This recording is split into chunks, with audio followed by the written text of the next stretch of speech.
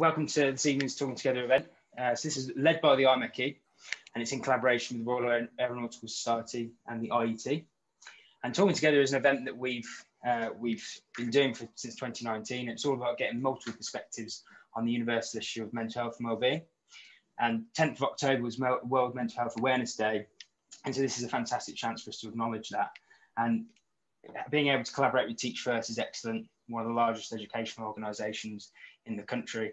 Um, and as a, as a professional institution that is STEM related, Teach First plays a massive role in providing STEM teachers to disadvantaged schools mainly. Uh, and you know, you play a massive role in, in, providing amazing teachers that can educate the next generation of, of engineers. So we definitely you know, want to talk to you about these different topics. And mental health and well-being is one we, we say we've been exploring for the last few years in, in depth. So thank you very much, first of all, Nathan and, and, Russell for joining. And thanks to all our guests on the line. It's great to see so many of you on, on a live webinar. Um, and I hope you hope you enjoy the conversation. So to begin, my, my name is Joshua Thompson Smith. I'm on the IMechE Young Members Board and I lead this event. And I've also got with me tonight Amit Palmer. He's also on the IMechE uh, local committee and he's a Rolls-Royce uh, engineering apprentice and I'm a Rolls-Royce engineer myself. Um, so tonight we've got two fantastic people with us. So I think I'm going to pass over to Russell first. And the first question is, what is your background? Um, and what does a day as a CEO look like at Teach First? Uh, well, look, thank you for inviting me. It's lovely to be here, and I'm looking forward to the conversation. It's such an important topic for us to be discussing. Um, so I'm, I'm Russell. I'm Chief Executive of Teach First. I've been doing that for four years uh, now. I have an interesting career path, I think, up until that point. I, I started um, in software sales. Uh, I swiftly, because I didn't really enjoy selling things, I swiftly moved on to management consulting, where I spent a decade or more in, in management and consultancy. Uh, and then in the strangest career shift of all time, I think I switched to the trade union uh, movement, where I was general secretary of the National Association of Head Teachers for seven years. Um, now, that isn't the world's most radical uh, union, um, representing mainly primary um, head teachers, a good selection of secondary ones as well. But you know, we had some interesting times in the Michael Gove um, era there. My um, my my sort of track record is that I'm the first general secretary to lead my union out on strike uh, for the first time in our 120 years of history. So those are my radical credentials uh, for you. Uh, uh four years ago, I made the shift um, to teach first. Uh, when I was representing head teachers, um, the one thing that they all said to me was that getting the best people in our country to join teaching, many of whom already do, but we want more of them uh, as well, and making sure that they can thrive is the single one of the single greatest concerns that they have. And uh, I thought and, and, believe that Teach First is at the heart of that. So um, that's my background. Excellent. Good to hear. Um, so same goes um, for yourself, Nathan. Um, what's it like being a teacher and a STEM ambassador? Um, yeah, uh, again, I'd, I'd, like to well, uh, echo the thanks for um, having me um, on board tonight. Really looking forward to it. Um, so yeah, I'm uh, Nathan D'Laryea, and I am assistant head teacher and also a maths teacher at Loreto High School in in uh, Manchester. And I, again, I probably didn't have a, a typical route into what I'm doing now. Um, before before going into teaching, I was actually a professional footballer. Um, had to retire at the tender age of 24 due to uh, 23 due to illness, and then went to retrain, did my degree, and then joined the Teach First Leadership Development Program. Um, taught maths at school in Bradford, and now I teach um, at Loreto in, in Chorlton. And um, last couple of years, I've been assistant head teacher as well. Um, that is a, a challenging role, um, but definitely the passion, um, my main passion and the most enjoyment that I get of any typical day is when I'm actually in the classroom teaching the kids. Um, my current role, um, the leadership responsibility that I've undertaken, it means that for uh, large parts of the time, I am actually away from the classroom, dealing with management and leadership, um, strategy meetings, etc. But definitely, the joy and the passion that I have is when I'm in front of the the students and the high school students, teaching them maths. Um, so yeah, my day is um, the joy in my day is in the classroom, but it's with um, a number of other things as well. Sounds like a good balance. Really Certainly interesting. Is. Uh, when I when I was at, thank you both. Yeah, it's really interesting to get your backgrounds uh, as we go through the conversation. I was thinking, Nathan, that when I was uh, at school, you kind of look at maths teachers and I was like stressed, and you think, oh, why are they so stressed, you know, teaching, you know, why is that so stressful? But now being in industry, they're thinking my job's probably nowhere near as stressful as theirs. So I think one of our first questions we thought of was, what do you do on a daily basis um, to protect your mental health and well-being, or keep a positive mindset while you're in the work workplace? Okay, well, what um what I seem to do is I was um, kind of thinking about this, and it's it's true in everything that I do. Um, a lot of the things that I do in my day to day um, are things that you know aren't necessarily top of the, my most favorite things to do. But before I start any task, um, any task that needs considered thinking or, or, or mental kind of concentration, I always do something that puts a smile on my face. I know I'm lucky in the in the kind of profession I'm in. I get all of my joy from the students. So I would literally, if I have a meeting or an important meeting, what I will do first, without fail, is I'll have a walk around the school and I will have a chat and I'll have a laugh and joke with the students. And that immediately makes the task that I'm just about to do seem more manageable and better, more approachable. So it's almost like instead of kind of thinking, oh, I need to start, I need to start, it's taking that step away, doing something that that makes me smile, which a lot of the time is just having a laugh and a joke and an interaction with the varied group of people who I have the pleasure to work with. I get that joy and it just makes everything seem better. So it's kind of that stepping away before you launch straight back in Yeah. really interesting. That sounds quite interesting. Yeah, definitely. Um, would you say? Russell, um, yeah, go ahead. Would you say, Army, what does does Russell? Uh, what do you do on a daily basis out of interest? My job isn't as stressful as Nathan's. Uh, I have to say, he's on the front line in the middle of a uh, through the pandemic, uh, helping hold all of that together. Um, I think that's it's really important to, to note that you know, there are people for whom stress is, am I going to be able to feed my family when I get home from work uh, as well? So for some of us, it, it, doesn't hurt, I think, sometimes for me to remind myself that I'm in a pretty privileged uh, position with some level of control over my own destiny uh, as well. But of course, I feel the pressure. Um, I've got lots of people in the organization for whose, you know, the success of it um, uh, they, de- they, depend on the decisions that are being made. I think it's a version of, of Nathan's um, strategy, but at the other end of the, the, the event, uh, which is when I go home, knowing that I could, that I must switch off from work at some point. And obviously, there's things I want to chew over and think about, but there comes a time when you've got to be able to switch off and focus on something else your family, your hobbies, your faith, whatever it might be uh, for you. And when I, when I look at successful leaders and managers across across any sector, the ones that, that sustain their performance over the long time, they have a life outside of work. However pressured it is, there's a time when they can think of something else. And when I see people cracking under pressure, um, it is often because they live pressure 24 hours a day. They, you know, they wake up thinking about it, they go to bed thinking about it as well. And their problems, they, the scale of the problems morphs as a result of that. And I think if you can step away and do something else, so uh, after today, before I went on this call, I'm trying to lay some tiles um, uh, in one of my rooms. I was off, I've got a new tile saw, so I was off doing that. Uh, it cleared my head completely and I'm in a much better mood now joining this call. Excellent. Um, I, I, think the second question should be, um, do you think there's an open environment in schools um, for students to, you know, talk about mental health, their well-being and, and gen- general, you know, well-being to do around that? I I, th- I think there definitely um, there definitely is, and and that has increased, and I think there's um, you know we can look at why it's increased, and we can look at it in terms of cause and effect. One thing that I did notice post I know we're still in the pandemic, but um, when students returned after prolonged periods um, of time being off, their mental health did suffer, and it really did. And we found we had we had a record number of students accessing our counselling provision, and and we had there was a need where teachers were actually almost being the counsellors for them, and we did realise that we needed to put something in place. And this isn't just at, at my school; this is a um, speaking to my colleagues at different schools things like well-being groups and clubs have been set up not just for students actually for teachers as well because it's important that you know as, as members of staff overseeing these young people that we look after our mental uh, mental health as well. So i would say that there's definitely been an increased provision in school and an increased focus on that.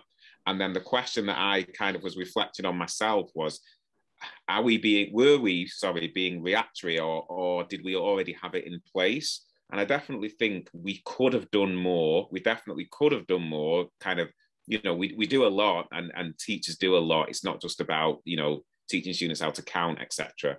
Um, but definitely when the need when the need arose, we put more in place. And I think now these open and honest conversations, they are it's it's the norm now for people to admit that they need help, or and that's that can only be a good thing. Definitely, yeah, yeah. I think, you know, we learned something very important during lockdown about the role that schools play in young people's mental health uh, and indeed the wider community as well. Firstly, we, we saw how much we depended on schools for staying in touch with families. And although um, lots of children weren't able to come into schools, schools were reaching out uh, on, on multiple occasions and helping families navigate um, these these difficulties. And indeed, some of the problem was not being able to see the children as often as you as you would. But also, uh, and of course, not every young person thrives in school or in the institutional environment, and not every school gets it right, although many people do.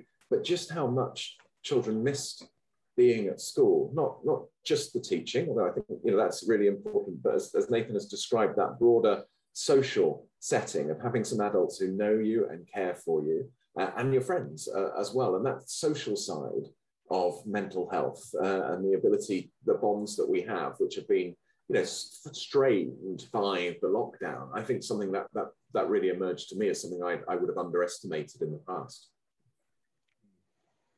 It's interesting. I was saying only saying to Armin the, the other day, I left school like ten years ago. It seems a long time ago to me, but it's still quite in modern history, if you like and it definitely wasn't the top of the agenda. Mental health and well-being as a student wasn't at the top of the agenda, and that's only ten years ago. So I, you know, looking at things on social media, looking at LinkedIn, uh, speaking to you know, friends and family, it seems education is definitely putting up the agenda as is the STEM industry. So it's, it's really positive to, to think about that. Um, and I think it brings us to the, to the next question. It's something we always ask all of our guests, um, and it's about imposter syndrome. So we've got some apprentices and grads on the line um, who have just started Rolls Royce, for example. And I've definitely experienced that as I started my career. I don't, I can't say I experienced it that much in school myself, but I know some students would. But definitely in the professional life, when you started, it was like, oh my, you know, wow, I've just entered a room here. I definitely don't feel like I belong in it. Um, and that can really take a toll on you. And you think, oh, do I deserve this job? Do I think I should be here? Uh, so we're, we're asking you, know, you two, have you ever felt imposter syndrome? Did you ever, ever experience it either at school or in your young professional life? And uh, what kind of encouraged you to to think differently about that that emotion? Um, well, I, I certainly did feel it, and it is something that I overcame. I'm I'm very well not fortunate because I do believe that I have worked hard, but you know I was I was made assistant head teacher after after only being in the profession for um, six or seven years. So it was quite a quick rise to get there. And I remember when I was first, when I was appointed as assistant head teacher, I remember it being a, an internal interview. And I was up against other colleagues who had been teaching for twice as long as me and had been in a middle leadership position for a lot longer than I had been. And then when I was appointed, I remember I remember thinking that, you know, am I am I the right person who should be doing this? Um, but then what I quickly realized is that, you know, we need to do, we need to have faith in our own ability and and you wouldn't be in the position that you were in, whatever stage you are. You wouldn't be the position that you were in if people didn't see the potential in you and they didn't, um, you know, they didn't really, really value you. Talk. There's a there's a lot of talk at the moment about um, diverse leadership. Um, you know, not necessarily just in terms of um, you know uh, ethnicity or, or but but also diversity in in, in age and ex- levels of experience and people bring different things to the table. And a lot of innovation comes from having that diversity around you. And i think you know that's what ultimately i used to reflect on that I might not be the same as the other assistant head teachers that I, I you know I, I, see around me, but that's a benefit. That's that's a positive.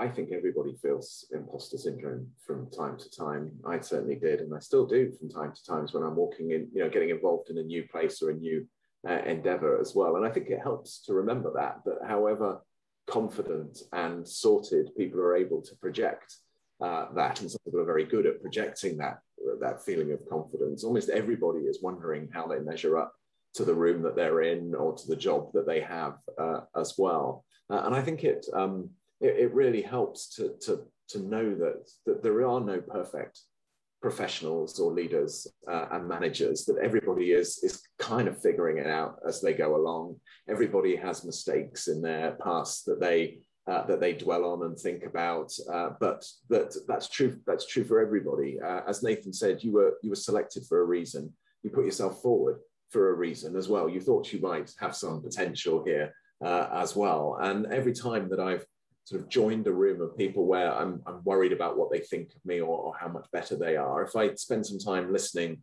thinking, and learning from them, I, I soon realize that I do have something to contribute. And I believe everybody has something to contribute. Don't try and be like them. Try and be like yourself and the things that you bring to it, and you will have a perspective. Um, and if you're working hard and learning, you will you will you will have earned your place in any particular room. I, I, I can say for myself, as soon as I joined Rolls Royce, I felt a little bit of that. And, you know, every placement I moved to, I, I, I do feel a little bit like that. Um, but, you know, gradually as, you know, as I get used to it and, you know, as I overcome it, it gets better with time and time again. Um, so moving on to the next question, um, at any point in your careers, did you feel uncertain um, about, you know, what, what the future, you know, holds?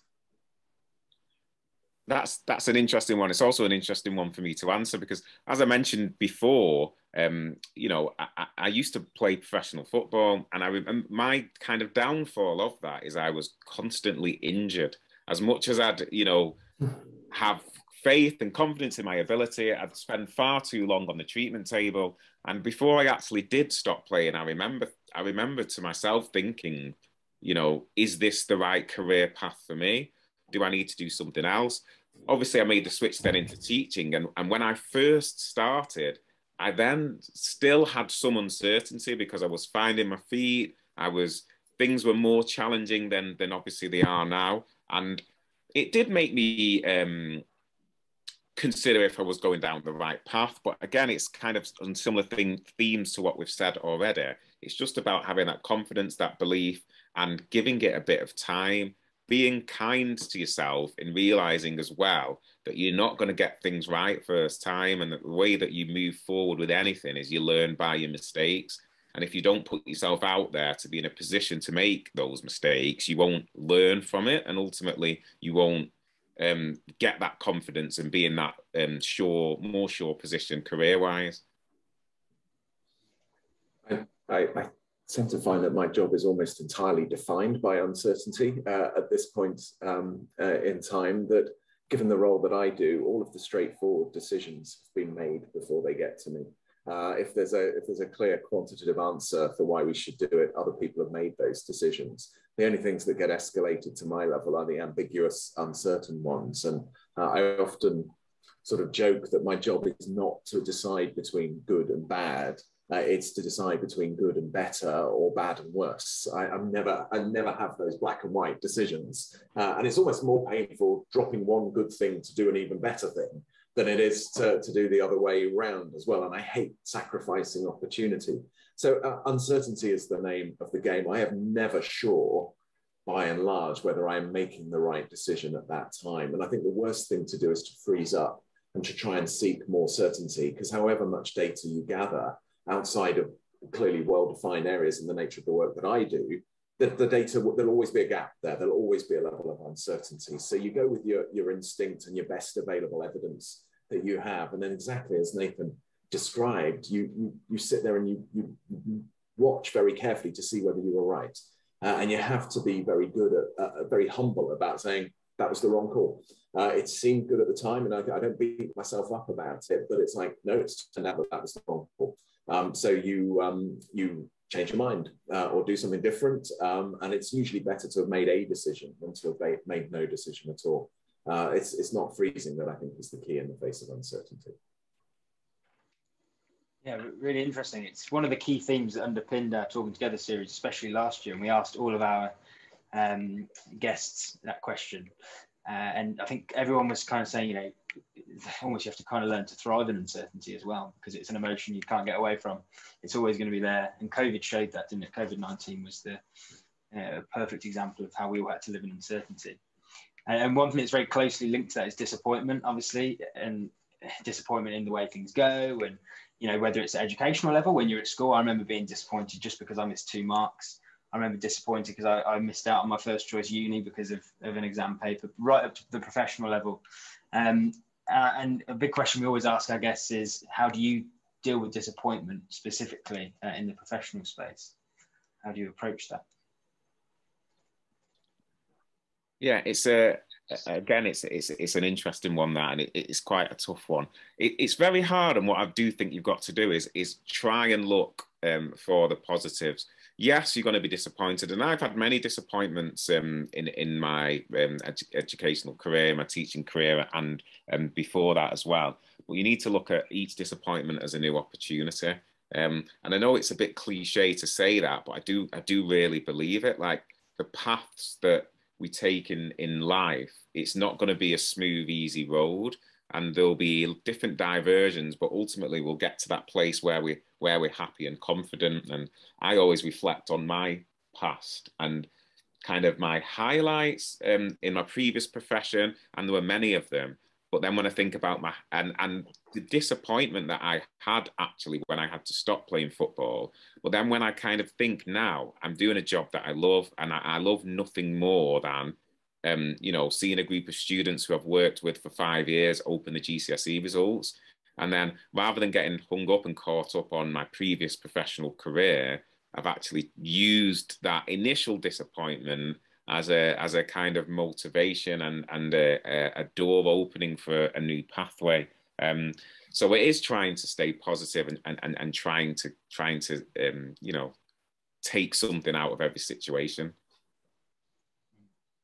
any any career spent doing important and difficult things is going to contain disappointment uh, in it. If you've not, there's not a few things that you haven't fallen short of. I don't know if you're pushing yourself uh, to your full potential. How will you ever know what your full potential is uh, and, until you've you've reached that that limit? So um, one of the things is to take it as a very positive indicator. Obviously, you don't want to fall, fail or, have disappointments more than you need to uh, as well. But if it's completely absent in your life, then I'm just I'm just wondering, you know, whether you know whether you need to be more ambitious on that uh, on that front. I, I, doubt that it is absent in most people's lives because life is hard enough uh, as it is. Uh, the thing to do um, again is to keep it all in perspective. You cannot be defined by a single failure. Uh, or upset within your career. Again, step out of the, the, the present moment and think about the things that have gone well, as well as the mistakes that have been made. Um, in a few years' time, we'll look back on this and it just won't have that same perspective to you. The kind of things that I felt so intensely at the time and think like, I've got to stop, I've got to resign. This is the, you know, I'm not capable of doing my job. A couple of years later, I barely remember them uh, at all. Um, hopefully, I've internalized a few lessons uh, from it. But again, it's that sense of perspective that you need that if you stay too close to your problems, uh, as Nathan said, you'll be able to turn them off and say that was the past. It's all a new day uh, now, and I'm not defined by what happened there. I guess leading on from that question, um, this is something that I haven't really experienced much of, but have you ever considered taking a step down to protect your mental health? Um, and if not, what encouraged you to, to keep on going? Um, I'd, I'd, I'd, probably echo what you just said. Uh, personally, I haven't yet, but working with um, people um, in a school, that's happened quite a lot. Like um, when I when I was appointed head of maths, the person who was previously head of maths um, took a step down for family reasons. Um, you know, wanted to spend more time with family, etc. That's quite common in school, and we often have people either um, relinquish some of the roles or drop to part times. And and I think it's really important that schools and, and other organisations really support that and, and really allow people to make those decisions and still working in the in the organisation. It's something that I would consider down the line, but um, I have not had to do that um, just yet. It'd be interesting to take Russell's um, perspective on that. No, I've not had to or wanted to so far. Uh, but what I have done uh, to a degree, as Nathan has done, is exactly across sectors uh, as well. When I, feel like I've learned what I can or contributed what I can, I've, I've made some shifts uh, across. And I think one of the key lessons for any young person starting their career today is just to, but again, put in perspective how long a career you may have uh, ahead of you. You could easily be working for 50 years uh, given extenses in life expectancy and, and healthy life expectancy uh, as well. Um, there is room to do everything that you want to do within there, and it shouldn't be a linear trajectory. I, I think we should be very comfortable with, with peaks and troughs within this, that there will be times in our lives when we have to devote ourselves more thoroughly to things outside of work uh, than things inside work. Uh, and you know, being able to move away from a linear career trajectory, I think will be helpful. I, I, look ahead again to a time at the moment, I feel like I can do my responsibilities. There will come a time in my career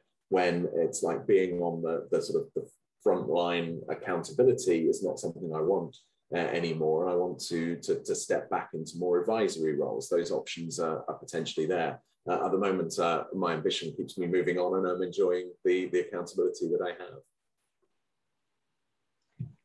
it's uh, Russell. What you said there was interesting because I've I've been able to listen into all these interviews we've done, and we've interviewed a range of executives uh, across the industry, uh, CEOs as well. Um, and they've all said the same thing as you that a career isn't five years after university. It's it's it's a long time, and uh, your perspective shifts and changes as you go through that career. Uh, and it's hard. I mean, even you know, I sometimes think, "Oh God, what's the next thing? What's the next thing?" You just sometimes it's you have to stop and say, "Right, how can how can I enjoy what I'm doing right now? Because otherwise, you just well meet yourself coming backwards. I think is the saying, isn't it? Um, you don't look after yourself. So yeah. I wish I'd known that. I wish I'd known that when I was graduating uh, as well. I thought I had to rush my way through as fast as yeah. I possibly could, and if I wasn't moving up the ladder, um, then there was something wrong uh, with me, and I was comparing myself to my peers and how well they were, were doing. If I'd known, you know, it's it's nearly 30 years now since I graduated, there was space to do everything that I wanted to do. And if, exactly as you said, if I'd been able to spend more time just like, what does it mean to be good at what I am doing now? Uh, and how can I enjoy that? Then uh, the next step, I would have had a, a, secure foundations. I mean, it's worked fine for me. I'm happy with what it is, but I think that's that sense of relaxing just a little bit, enjoying the moment, uh, and being being there for your responsibilities at the moment, not looking always looking ahead to the next step. I think that could take some of the stress out of life as well. Mm. And there's some great questions in the chat we'll come back to in a bit. I think some of this kind of aligning with that, you know, our society is very like you gotta you gotta run run in your career as quickly as you can, and it, it's not always the best thing for your mental health and well-being. Uh, so on that uh, that note, both of you, Nathan and Russell, you're in um, in the education sector and in your respective positions. Nathan, you're you know a senior leader in your school. Russell, you're the senior leader in this charity organisation that's Teach First.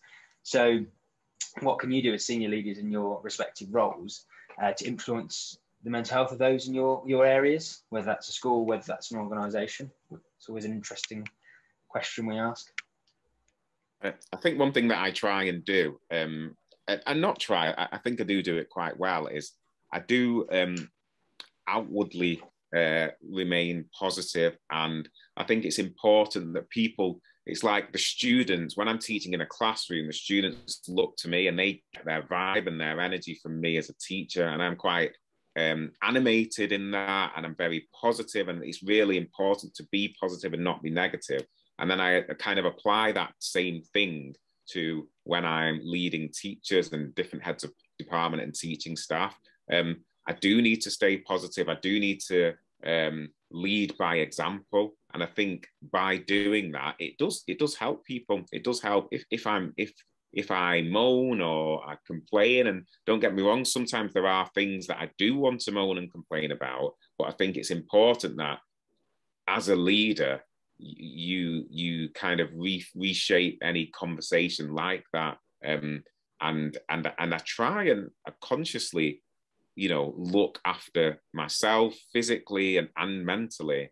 And just by showing and, and talking about how I do that with people, um, it just kind of sets the precedent, really.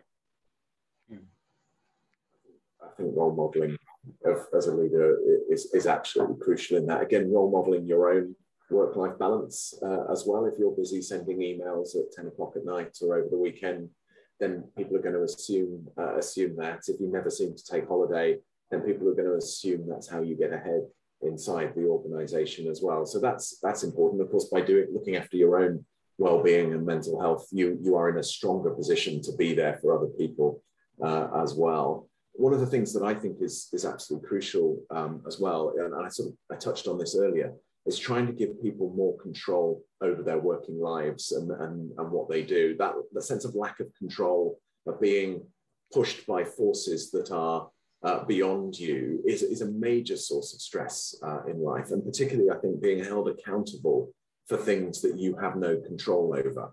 Um, and it's just luck or chance that, that drives that. And I think that's something that many people in school feel actually. They're held accountable for their exam results, but actually that can fluctuate um, depending on the prior attainment of the people who are coming in um, to the school. So I do try, and I, I wouldn't claim to be perfect at this uh, at all, but do try and, and, and be much clearer about it's, it's the stuff that's in, in your control that you're responsible for.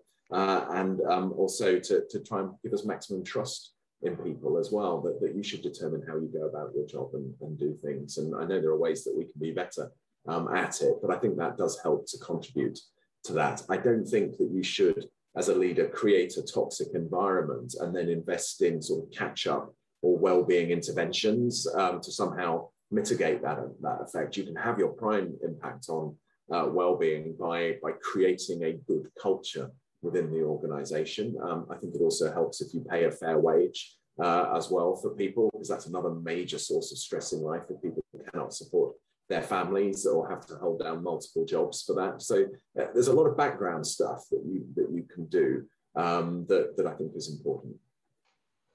Um, I definitely agree with that. Um, following on from that, um, why do you think STEM subjects are seen as stressful and impactful to you know students, you know mental you know mental well-being? Because certainly when I was you know picking my options from GCSE to college, I definitely you know that definitely had a way in you know with STEM subjects being a lot more harder I, I, think there's there is there is the stigma on it, and I, I, agree. There is the stigma that there are the more challenging, or you should only kind of go down particular routes if you're super academic, and and I think as as probably as as we look at the the, the need to be skilled as well as just um, you know able on paper, um, I don't think that's necessarily true. I think it's something that it's definitely still there, and and it's it's very difficult to think how exactly it's it's going to shift. Um, you know, we can look at what the requirements are from a kind of um, policy and, and then and curriculum level. Look at look at the, the demands that are being placed within these subjects and look at how relevant certain things are and how applicable they are um, for the industries that you might go into after that. But I mean, it is it is true. It's definitely true um, and and they are. You know, don't get me wrong. Some of the the STEM subjects are quite demanding um, subjects, but I think as we as there is a, a, shift in the different options and the different routes, and you know, we were talking before about um, the, the the pros of apprenticeships and work placements to actually get skills. I think that's important, and I think that will eventually um, support in in in the plight to kind of change that perception? I have a theory, and I don't know if this is true uh, or not, but I'll see if it if it resonates at all in terms of concentra- uh, sort of building on what Nathan uh, has said there. That I think there are two different sorts of subjects that we can learn. There's a sort of hierarchical set of subjects where the learning at one stage depends fundamentally on what you've learned at an earlier stage, and there's sort of more linear subjects where you can if you've missed out on earlier phases you can still get to grips with that. So if for example you're studying mathematics and nathan you can correct me uh, on this one if you haven't got some of the foundational concepts already secure and fluent then the rest the, the stuff that you learn is going to be complete gibberish to you later on. Whereas if say in english literature you've missed one book you can still read another book and engage with that book in a, in a fashion and so I think one of the reasons why I think some people have a sort of negative attitude towards some, uh, and I think a lot of the STEM subjects fall into that hierarchical category, is that they've, if they have missed out something because um, it hasn't been taught as well as it should, or they've missed some time at school, suddenly they're sitting in a lesson where all of the dialogue is almost in another language for them, and they get very alienated from that, and that is very stressful. Whereas I think in, in some of the humanities subjects, you can catch, get dip, dip back in and bring your outside knowledge to it. And I wonder if that's one of the reasons why we have different, sometimes different attitudes to the two sorts of uh, subjects. And, and what that suggests is that um, in, in those subjects in particular, it's really important to make sure you have secure foundations before you move on to each stage and that we shouldn't be rushing through them. We should be thinking, let's get the basics right and then we build the next because some of these subjects are, are towers built on, on previous layers. Uh, I don't know, Nathan. Is that am I am I making that up, or is there no? In that? No, it's it, it's very true, and it's it's I think it's fundamentally at the heart of of why um, they they are challenging subjects to, to learn and and to uh, you know to teach as well. And there is that accumulation of knowledge that is important in in particular areas, particularly in in STEM subjects, that isn't necessarily the case in other in other areas. Um, so no, I'd agree with exactly what you were saying. I think my I you know I did a mechanical engineering masters, so I had with my peers at university dark days in third year doing advanced mathematics, um, where if you didn't know the stuff you did four or five years ago, you had no chance. You had absolutely no chance of being able to write this thesis on a specific principle. And uh, yeah, I remember going to the, the, the, professor at the time and with a group of them, we were like, we literally don't have a clue. we don't have a clue. Sit us down, talk us through it. And it was amazing. Once you've gone back three, four years to, you know, what we did in like first year, um, you realize, right, you know, and actually you're getting yourself worked up, impacting your mental health and well-being when actually the answer was a lot easier. Um, and that's why STEM subjects, I know they're hard. I always say to Amit, we were only talking about this. Um, they're difficult, but it doesn't mean that you can't be successful in the STEM industry uh, just because they're hard at school, because they, they are definitely a hard subject, no doubt. Um, and I think I saw someone put in the chat about languages. I actually did French um, at GCSE in first year A level, and I found that as hard as STEM subjects as well, because it's a similar kind of thing, isn't it? You don't know the basics, you're going to struggle all the way through your language uh, qualifications. So, really interesting. Um, I think that kind of segues nicely into our next question, which is Teach First. You're an amazing organisation that works with disadvantaged schools specifically. I was doing a lot of reading about about your mission. Um, and it's I've actually, as part of Rolls Royce, I've done STEM events in collaboration with yourselves as well, where you have a disadvantaged school come come along and look at Rolls Royce as an organisation and, and, and, get people to talk to them. Uh, and they're all doing STEM subjects like every other school in the country. And thinking about those those schools that are from disadvantaged backgrounds, do you think they have the same uh, support networks for mental health and well-being available to, to other schools in the country? Uh, I mean, Nathan is working in the, the heart of one of those, so he will he will be able to talk um, uh, more informed about that. But I do think that unfortunately, in and more generally speaking, un, unfortunately, in our country, those schools who serve the poorer or more disadvantaged and deprived communities are less likely to have the things they need to thrive uh, as, as schools. Uh, they're less likely to have the funding that they require. They're less likely to have networks from outside of education that they can rely on they are less likely to get people who are qualified at degree level in the subject that they are teaching to GCSE and A level. You name it, our system is rigged against these schools um, uh, as well, which is then why the young people who come from these schools, despite the fact that their talent is equal to anyone in any school, public or private in this country, just haven't had the level of investment that they require to compete on a level playing field. And, and our, our mission as a charity is to reverse that we think that the, the schools um, who serve the most disadvantaged communities should be the best resourced, best supplied, best staffed, most celebrated schools that we have in, uh, in our country. Uh, I think, you know, I'd love to see them get more money. I'd love to see them have the connections to employers. And I know that Rolls-Royce, for example, does support lots of these local schools. There are some really strong employers who, who do try and right this. But also, I think it begins with teaching uh, as well. That is fundamentally at the heart of school. And I know teachers do so much more than just teach the lessons. They care deeply for the, for the pupils. And I think if we can continue to make sure that the um, that, that these schools get the, the highest quality teaching and the support for the teachers who are in there, um, then I think we can level level the playing field, and I think that extends to mental health uh, as well. But but I'm sure Nathan can say more about that. Yeah, I think I'd, I'd, you know everything that you said kind of resonates with what I am seeing at school. That we do have, um, you know, I touched on it before. We do have a um, kind of, especially particularly um, as a result of the pandemic, that the students have greater needs and particularly disadvantaged students. And unfortunately, we don't always have the resources um, available to support them.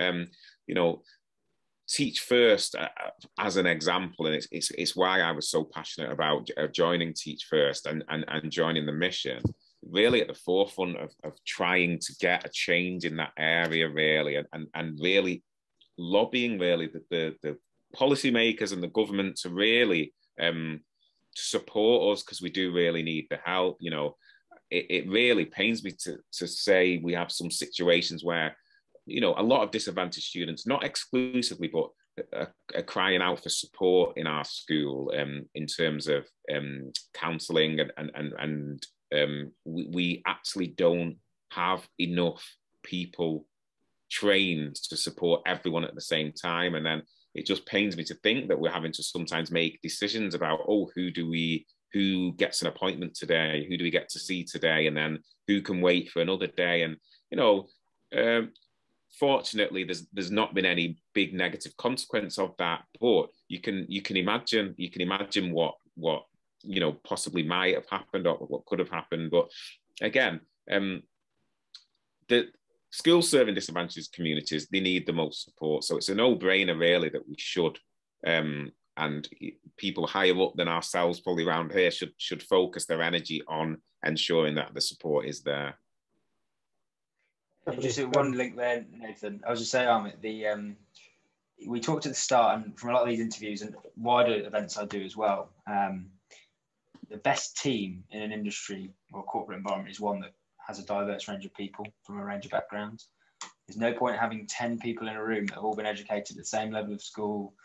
They all come from the same ethnic background, same sexual orientation. It doesn't work. You're not going to get that, you know, that richness of, of talent. Um, so, yeah, it, it, all links into that, doesn't it? And, and it's, it's interesting to get your view on it.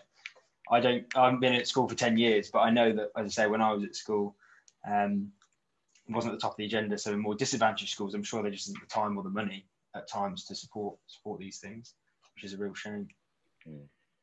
I think following on from that, um, in professional life, it, has been quite a slow change, you know, to to enable that to happen. Um, what do you think um, it's like for you know a STEM teacher to you know try and change that around within their industry? Sorry, could you just repeat that question? Sorry so in terms of professional life, it's been you know quite quite a slow change to incorporate and you know consider mental health and well-being. Um, do you think that'll be as slow as you know for STEM teachers? Um, how do you think that'll impact? Um, I, th- I, think I think it probably chimes in in in line with that as as well. Um, you know, we what I would say in all areas of of education now in, in my small kind of microcosm of, of my school we are really taking a step back with even even little things like when we talk about um, we've we've considered there's a need essentially for students to catch up on all of the work that they've missed um, as a result of the pandemic. But we and I know a lot of other schools we've made a conscious um, a conscious uh, attempt to, and, and not just STEM teachers but kind of teachers generally to not use that language in front of the kids. Because if we say, you know, you need to catch up, you need to catch up, you need to catch up, you're way behind, it puts them instantly under uh, uh, under stress. It makes them feel inferior. It makes them think, you know, oh, they're not going to be able to do it. So we've kind of even just a little thing like that. We've tried to change the language just so that we can support students. And yes, there is a need for them to get back up to a certain level, etc. And we would do our utmost to support them in that. But we have reflected, and, and particularly in again, as we're talking about the cumulative nature of, of STEM subjects, we have consciously decided not to keep referring to them as catch up, catch up, catch up, um, because it's not going to benefit them. We just want to support them in, in the best way that we can.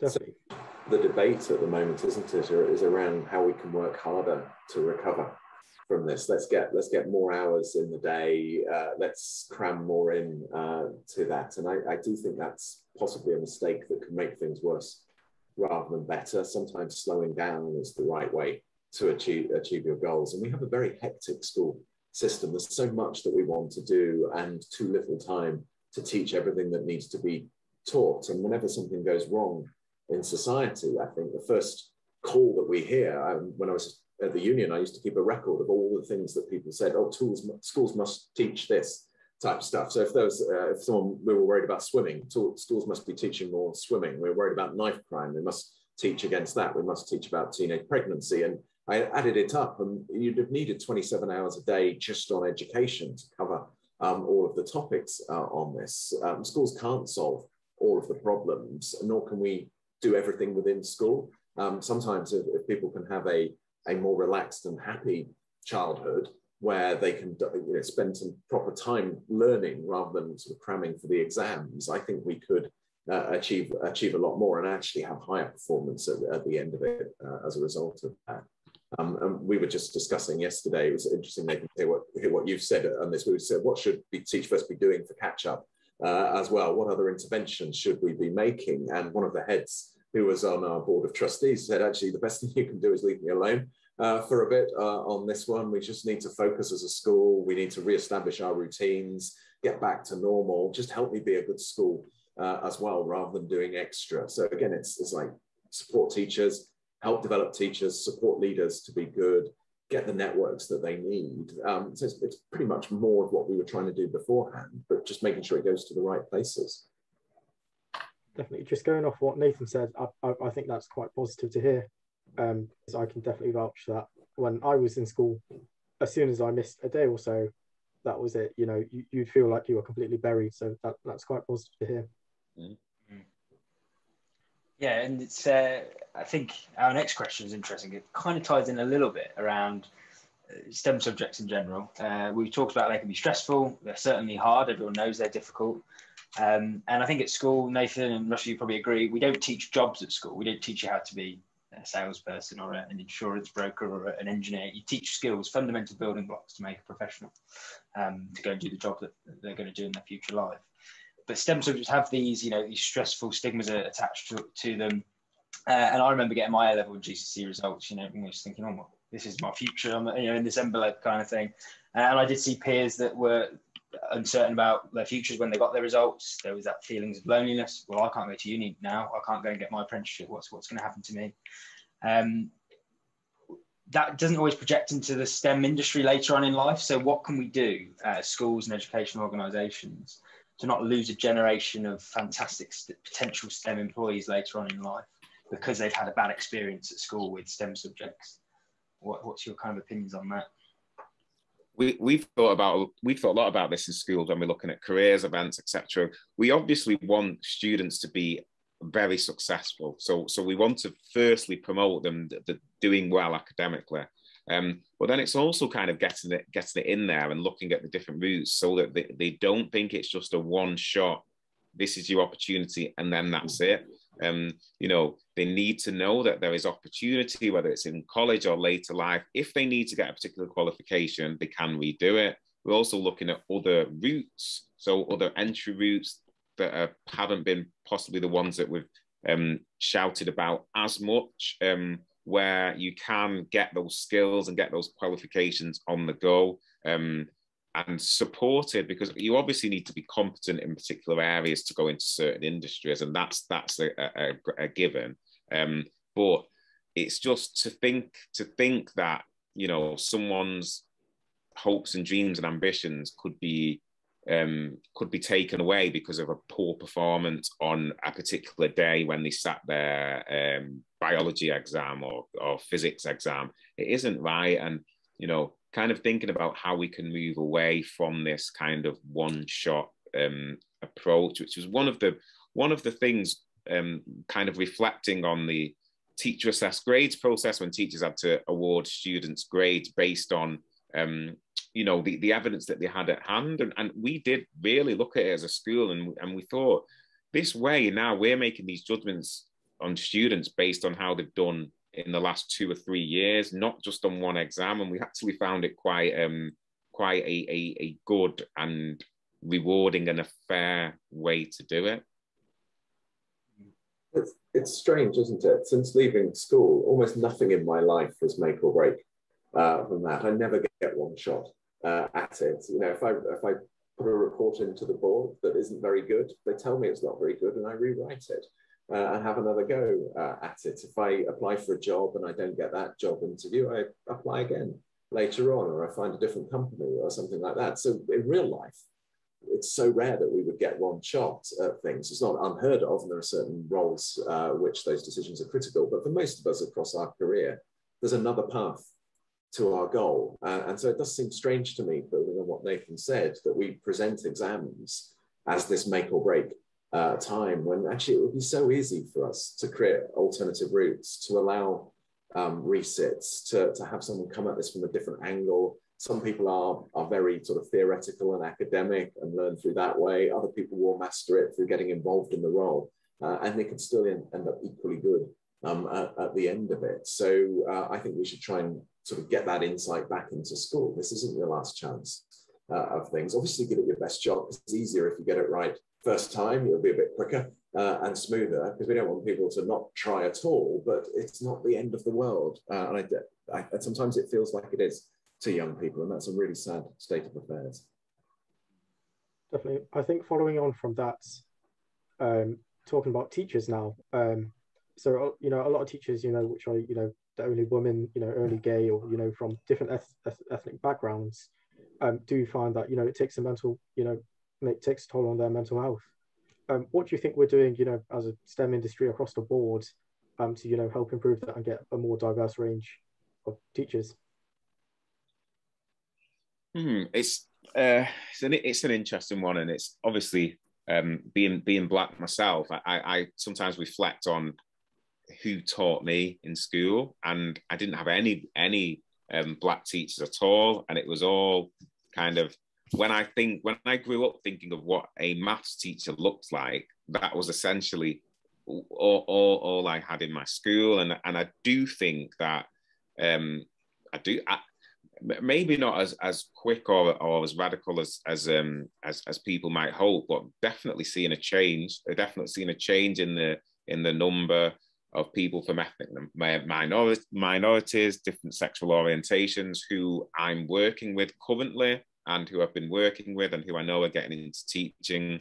And I think kind of the spotlight that's put on it and the positive spotlight that's put on it um, is having an impact. Yes, um, kind of speaking in, in education, there's still a long way to go. I look at some of the more senior leadership positions um, in schools. And again, whilst whilst there seems to be a lot more um, diverse uh, intake of teachers at that senior leadership level, it, it's not as as prevalent yet. But I am confident that you know we will get there as a society. I think I think that I, we definitely see that in the stats, Nathan. Uh, an entry into the profession it is becoming more and more diverse, although still not fully reflective of the young people of this country as well. But it does filter out far too rapidly into leadership roles within schools and the leadership teams of our schools do, are not reflective of the communities they serve on many of the different dimensions um, that we're looking at. And I think, as you, as you say, I think representation matters. I hear that said and I believe it uh, as well. You need to see people who come from the backgrounds that you do, whether that be race or class or um, any other way that you might uh, identify. Uh, and that proves it's possible for people like you if you're putting yourself in your in a role of a, of a student. So we need to do better uh, on this, and it's not just about the numbers starting; it's the progress through the system. Um, it is the way people can thrive uh, and how they're they're treated as they get through that, and whether they can aspire to the senior most roles uh, within there as well. We have to get it right at every stage, and I don't think that we do that. I don't think Teach First gets it all right either. There's a lot that we need to improve. So I'm reflecting on ourselves as much as any other um, institution here. But the, if we could do that, it would unlock such a lot of potential. And there, there are many brilliant engineers waiting who have not seen that we would welcome them uh, into that or haven't been given the chances um, that they would need to, to get those positions. And that's that's not just unfair to them, it's, it's a huge waste for our country uh, as well if we're not making the most of all the talent that we have. So we would all benefit from getting this right, I think. And it was it was only last week, even within you know, Rolls Royce, I heard them talking about it, and the IMechE were all very interested to see how your collaboration goes with Mission 44, led by Sir Lewis Hamilton. Um, very linked to the IMechE runs Formula Student, so that's linked to the Formula One area, and, and that's a very underrepresentative part of the industry. So, you know, fantastic. We're really looking forward to see how that that um, collaboration goes. And uh, you know, the target is 150 black STEM teachers, isn't it? And, and that's it's a start, isn't it? But uh, yes. the IMechE, yeah, we're definitely interested to see how that how that progresses. And if anyone's interested, um, I say we'll, we'll put the links in so you can go and explore that. But it's been all over the news and it's a fantastic spotlight. Uh, if you don't talk about it, it won't. It's not on the agenda, is it? So that's fantastic. And I think that goes quite nicely into our, our final question. We always ask it is, um, what's what's your favourite hobbies to wind down? So one of mine is to watch Formula One. It's to play golf. Um, you know, go and watch Arsenal play, even though that can be quite painful. It's got better actually recently uh, to go and watch Arsenal play recently, but it was quite hard for last year. Um, but yeah, what's your your favourite hobbies to wind down and step away from the professional environment? Because that's really important for mental health and well-being. It's definitely the centre of, of this topic, I would say. Um, yeah, I'll take this one first. So, so, something that I've been doing um, recently, well, since I stopped playing football, actually, was I, have suddenly become a keen cyclist, and I and I feel like when I'm, I'm a road cyclist, not not in mountains, but when I'm cycling, I you know I go out and cycle for two three hours, and it's like I'm just it puts me in a good place mentally. I'm thinking about things, I'm reflecting on things, I'm thinking about the next day. But then other times I'm actually just thinking about nothing and I'm just concentrating on the road, I'm cycling, and it's just that time. Um, you know, sometimes I go out on my own, but it's just the time when it's it's it seems like I don't have any worries or or you know cares in the world to a certain extent, and I can just focus on on me and, and me time. So that's my um passion at the moment. I've already given away my DIY uh, predilections at the at the start on that. Actually, what sometimes the problem with DIY, if it's a very routine activity, you can get trapped in your thoughts rather than thinking about nothing. You've got enough time to stew over problems as well, which isn't always uh, healthy. So exercise is a great is a great one. We should all find a way to put something like that in that is suitable to our needs and our physical state uh, as well. But I do a bit of running uh, from from time to time, which I, I, find good. And then, like many people over uh, lockdown, um, I got a puppy um, uh, six months ago. Uh, he's now the size of a small horse, uh, so that keeps me pretty busy. Uh, going on, he's an Alaskan Malamute, if that makes sense um, to everybody. I'm kind of expecting him to burst in to the room at some point. He's usually interested if he hears me speaking, but he's left me alone uh, tonight as well. So there's plenty, plenty outside of work. And I will say it's absolutely essential. Never give up those commitments, however intense the work is. There'll be times when you can't give them as much as you want. Hold on to something within them because you will need them, uh, I think, over time. I, I think um, just adding on to that, Russell, I, I quite enjoy DIY myself. So just doing something completely opposite to what I'll do in a day-to-day role, you know, just completely, you know, changes the game and, you know, just, you know, it's it's something you, you do for passion and you know you find rewarding in a sense. So I, I, I definitely vouch for that one. I claim to be an engineer and I hate DIY. So there you go. I'll be on the other side of the fence. um, it's interesting you point. We recently um, interviewed our own CEO Warren East um, for Rolls Royce, and that's that interview's coming out in the next month. And he um, he talked about you know CEO. It's really important. He has a bit of time for himself, and he does sailing to do that. Uh, and you can't think of anything else because if he does and he doesn't concentrate on the sailing, he'll be in the water. So, you know, if anyone can find a hobby or some kind of pastime that just decouples you from your everyday life, uh, it's, it's, it's paramount for your mental health and well-being. Absolutely. Um, so yeah, really interesting. I, I, love hearing what people do. So many, all our guests we've had over the, over the last few years, so many different hobbies. Um, it's really, really interesting. So that, that's excellent. Nathan and Russell, thank you so much for taking part. Uh, I think everyone has I've looked at some of the chats that has been popping up. Everyone seems to really appreciate you know giving your time to to, to talk with us tonight. Um, and I think I'm just having a look in the chat. I'm not sure if we've got a couple of minutes. If anyone's if there are any questions unanswered um, at all, let's have a quick look. I think Russell, you you answered a few there, which was brilliant. Um, so, is anyone on the live? If anyone's got any anything they want to ask, please do chuck it in the chat. I think someone called JJ. JJ said yes. Um, Russell Nathan, you, are you free for one or two questions? Take one or two questions. Yeah. Yeah, excellent. So, I mean, I don't think the IMechE panel is, is, is able to either unmute those those people or feel free to ask a question or we can do that ourselves. Ooh, that's quite a long one. what we'll do is we'll, we'll we will go um, a question from Nathan. Uh, Nathan in the in the audience is saying uh, any advice for people who want to start teaching. So, uh, well, teach first is one place to start, isn't it? I imagine. there are there are lots of good routes into teaching, and you need to find the one that works for you. There are pros and cons um, to each of them. Um, if you're struggling to get, if you're uncertain or struggling to get through the door, volunteer in a local school um, do some teaching assistant support work or anything just to get yourself inside a school. Schools are very different these days than they were five, ten years ago, uh, in good ways and in challenging ways as well. So find find out for real, uh, I think, what's um, what's going on. Mm.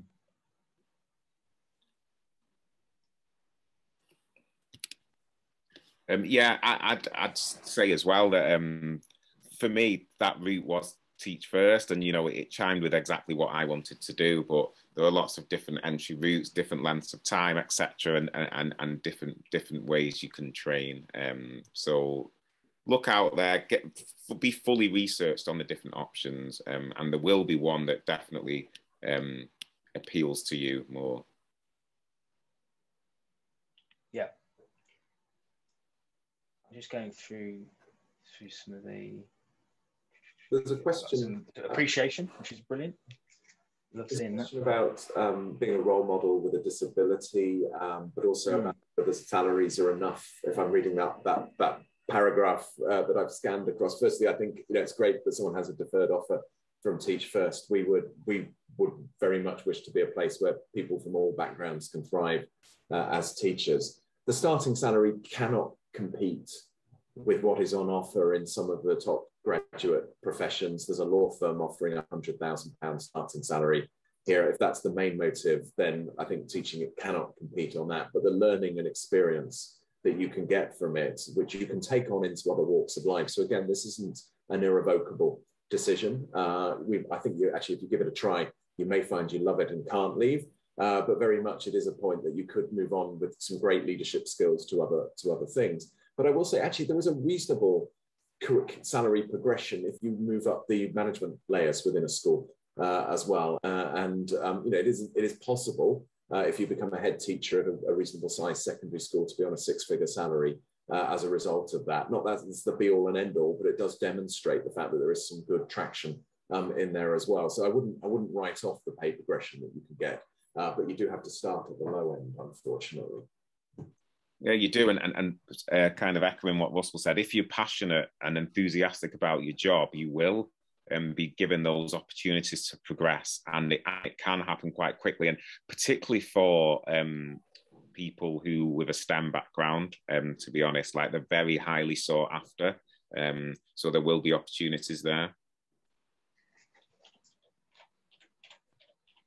That's excellent. I think uh, the, the other thing I want to just highlight on the on the IMechE side is that um, in collaboration with the IET, we've actually got an event coming up about being a dyslexic engineer and and the neurodiversity aspect of mental health and well-being. So look out for the advertisement for that because whether you're a teacher in STEM, whether you're an engineer, whether you're a, a digital um, pioneer in, in, the industry, whatever it might be, neurodiversity plays a big role in in obviously how you approach those jobs. So definitely look out for that event. I think uh, I'm really looking forward to being an audience member of that one. Um, be really good. I'm just um, going to put in some links into the chat for for the audience members, but uh, also we're going we've recorded this video, so we will put it on our uh, channel, and in the um, the bio of the the video, we'll also put some links there for people, so they can go and explore Teach First, IMechE, um, and hopefully find the information they're looking for. So I think uh, at that point, yeah, I want to thank everyone that's joined in. We had a, a great audience um, turn up tonight. A range of people have been in there. We've had some great questions. Thank you for all the appreciation. This is why we do these events. It's to collaborate, produce a network. Um, and Nathan Russell, the IMechE wouldn't have interfaced with you um, if we didn't have this series. So thank you so much. Thank you Uh, and much.